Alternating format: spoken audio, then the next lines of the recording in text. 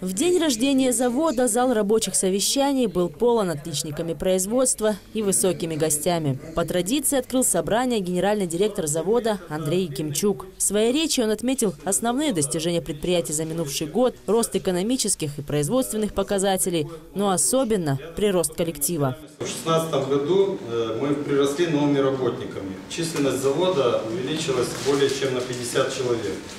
Э, На завод приходит молодежь. Рядом с опытными мастерами своего дела трудятся молодые перспективные специалисты.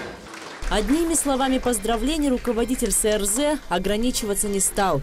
Приказом по заводу лучшие сотрудники за добросовестный труд и личный вклад в развитие предприятия были занесены на заводскую доску почета. Также им вручили денежные премии.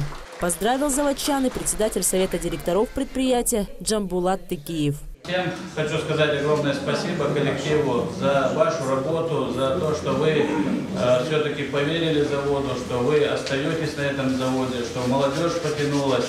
И это благодаря тому, что есть те, тот костяк, который находится на заводе, те ветераны, которые э, нашего производства, которые сидят в этом зале. Вам огромное спасибо за то, что вы сохранили это производство, на ваших плечах держится завод.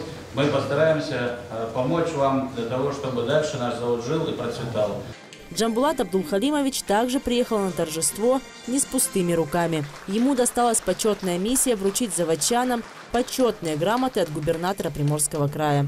Депутат Краевого парламента Константин Богданенко вручил работникам завода почетные грамоты Законодательного собрания Приморского края.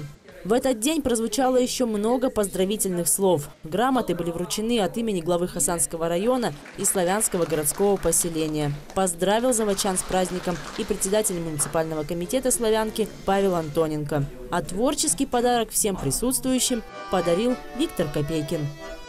Юлия Ульянова, Сергей Юрко. Новости «Славянки».